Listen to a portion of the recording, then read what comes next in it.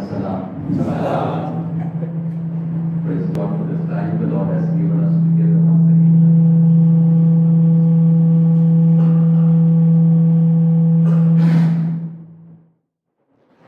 प्रभूने हा उत्तम वेळ जो आम्हा सर्वांना दिलेला आहे त्याबद्दल देवाला धन्यवाद असो given us this uh, grace to travel from various places of Maharashtra and to be together for this uh, leadership conference.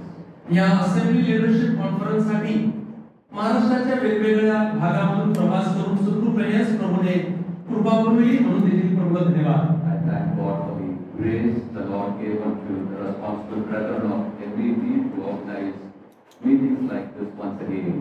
Maharashtra agency ट्रस्टचे जे बंधुजन आहेत त्यांनी धावपळ करून अशा प्रकारची सभा आयोजन करण्यासाठी कष्ट केले त्याबद्दल प्रभूला धन्यवाद very sure that this uh, attempt, this effort that they are doing will uh, be an encouragement to all of us in connection with the ministry that we are involved in. मला खात्री आहे की अशा प्रकारच्या सभा आणि अशा प्रकारचे जे कष्ट घेतले जात आहेत त्या कष्टाचं फळ येणाऱ्या दिवसांमध्ये आपल्या सेवेमधून जरूर दिसेल And may these three days that we are going to be together be an encouragement and times of correction and also times of dependence on the Lord. हे दोन तीन दिवस जे आपण एकत्र घालविणार आहोत त्या दोन तीन दिवसामध्ये प्रभू त्याच्या वचनाच्या द्वारे आम्हाला दोष देखील दाखवो आणि एकमेकांना उत्तेजन देखील ह्या दिवसांमध्ये आपल्याला लाभो Even in the opening session, the Lord has been speaking to us through the Lord's servant.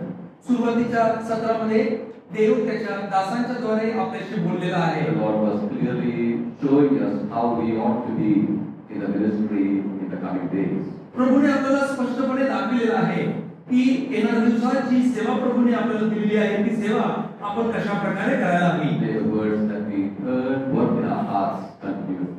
जे वचन आपण ऐकलेलं आहे ते वचन आपल्या अंतकरणामध्ये सतत तेवत राहो Now, even in this session, as we look to the Lord for His word, may the Lord help us and direct us. या सत्रामध्ये देखील आपण वचनासाठी बसलेलो असताना प्रभू आपल्याला कृपा करो आणि तो आपल्याला मार्गदर्शन करो To begin with, uh, for this ministry of God's word in this session, I want to have your Bibles turn to chapter 16 of Matthew's Gospel.